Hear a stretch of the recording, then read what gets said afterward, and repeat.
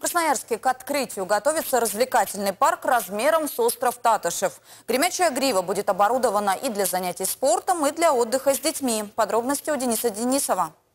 Здесь мы стремились использовать э, максимально натуральных материалов, да, чтобы покрытия были как будто так оно всегда и было. Остров Татышев и отдыха, заповедник Столбы и Торгашинский хребет. К этому списку больших прогулочных локаций уже этой осенью прибавится еще одна – спортивно-туристическая зона «Гремячая грива». Она расположится на огромной территории от корпуса СФУ «Пирамида» до биатлонной трассы. По замыслу проектировщика, все дороги, которые проходят сквозь «Гремячую гриву», лежат поверх уже существующих народных тропок. Это сделано для того, чтобы не срубать деревья и сохранить хрупкую экологическую среду леса максимально целостной.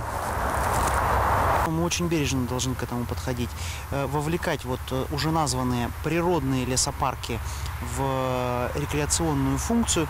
И плюс ко всему, я считаю, что город в новых микрорайонах, особенно там между строящимися крупными микрорайонами, должен сам организовывать лесопарки. Здесь уже почти достроен визит-центр, несколько спортивных и детских площадок. В будущем появится информационный павильон и музей геологии прямо под открытым небом. Куратор проекта Геннадий Клипиков, начинавший когда-то благоустройство острова Татышев, считает, что такой современный парк, пусть и не столь внушительных размеров, должен быть в каждом районе города. Мне бы хотелось все-таки, чтобы город и дальше продолжал уже эту традицию, чтобы и по месту жительства в шаговой доступности создавались скверы и парки. Может быть, меньшего масштаба, но с точки зрения того, что там бы были лавочки, пешеходные дорожки, освещение, а самое главное, чтобы был хозяин. Хозяином станет как раз Сибирский федеральный университет. Гремячая грива – логическое продолжение студенческого бульвара, который проходит сквозь лес от Академгородка до кампуса на Свободном. И, по словам руководства, доступна территория будет всем желающим. Будут ходить, гулять, заниматься спортом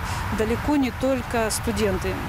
А, Разумеется, это открытая территория. Здесь э, как приезжали граждане, э, горожане, могли гулять, заниматься спортом, так и, я думаю, будут продолжать э, то же самое делать, только, может быть, с большим комфортом. Недавно было совещание при губернаторе, и активно это все обсуждается. Думаю, что где-то к середине октября все работы будут закончены. Все, по крайней мере, подрядчики клятвенно нас в этом заверили.